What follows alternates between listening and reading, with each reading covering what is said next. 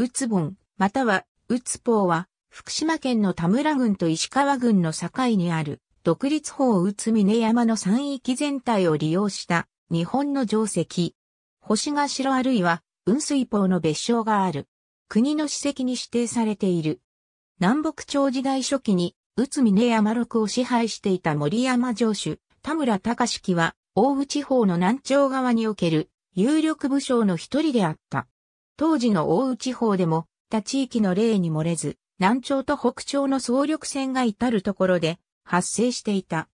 しかし、大宇南朝軍の中心的存在であった北畠昭家や結城宗弘が戦死あるいは病死すると宗弘の子、結城近友の寝返りなどもあって情勢は徐々に北朝有利となっていった。1346年、北朝方は南朝方の立てこもる霊山城などの大宇各所城を一斉攻撃し、宇津宝城もこの時落城する。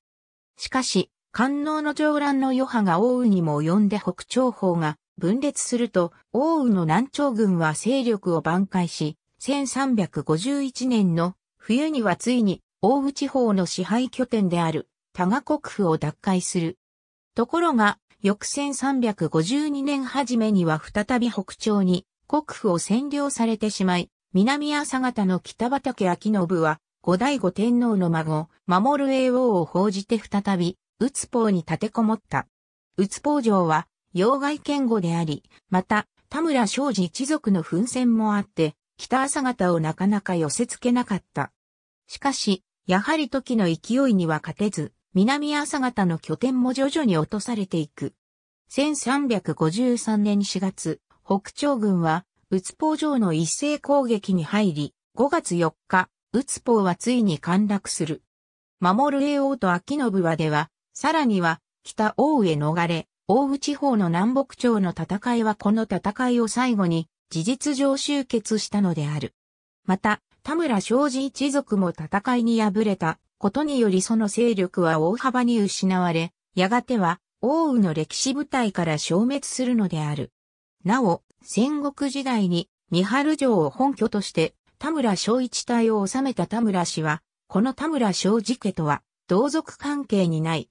宇都峰は、宇都峰山全体が城として利用された日本の城であり、今も千人ため、銚子城などの地名が残されている。千人ダメは、城石の西端に近く、高さ1.8メートル内以外の土塁によって囲まれた18から20メートル四方の車で、中に石の祠がある。これに東接する地域を銚子城と呼称しており、その東端に面した地点には空堀の痕跡がある。また、ここでは階段的に半腹を削った数層の平地面を確認している。宇都峰山の山頂には、雲水峰城市と国された石碑がある。1931年7月31日、国の史跡に指定された。うつぼん合戦に関するカテゴリー。ありがとうございます。